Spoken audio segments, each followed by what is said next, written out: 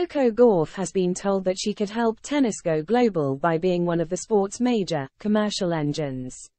Australian Open boss Craig Tiley is happy to see the success of so many American players like Gauff and claims they can attract a bigger market. And he named Gauff alongside Carlos Alcaraz as the future stars who could be the heir apparent, following the era of the Williams sisters and the Big Three.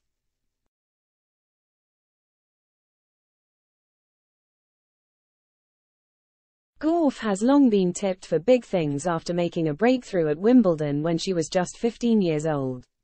The American has become a solid top 10 player and recently achieved her biggest feat, winning her maiden Grand Slam title on home soil at the US Open.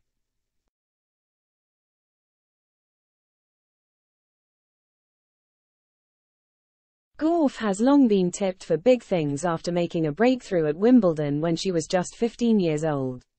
The American has become a solid top 10 player and recently achieved her biggest feat, winning her maiden Grand Slam title on home soil at the US Open.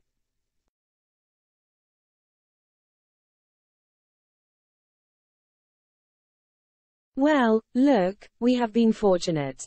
We came through an era of having great champions, American champions. We have the US players reaching the highest levels of the game, Tiley said.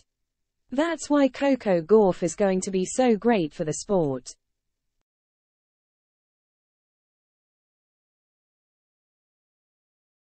It is the commercial engine of the sport globally.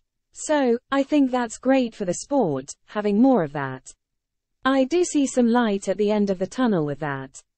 While Iga Swiatek has become the dominant force of women's tennis and Aryna Sabalenka is currently the world number one, Tiley thinks that the European players can't reach the same market.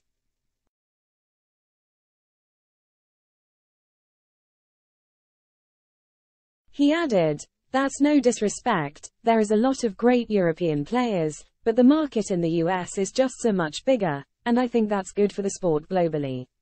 Tiley's comments come as the tennis landscape is making a shift, with Serena Williams and Roger Federer retiring last year.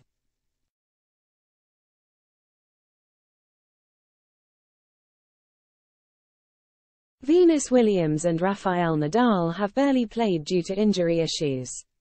It has left Novak Djokovic as the only player from their dominant era to continue winning Grand Slam titles.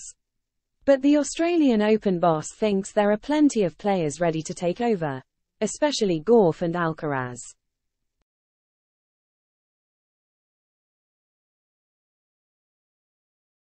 On the men's side and the women's side, there's quite a lot. There are some that are starting to stake their claim as being the heir apparent to that, he explained. I think Coco and Carlos are the two that are probably ahead of the pack in that. But the pack is broad, which is great.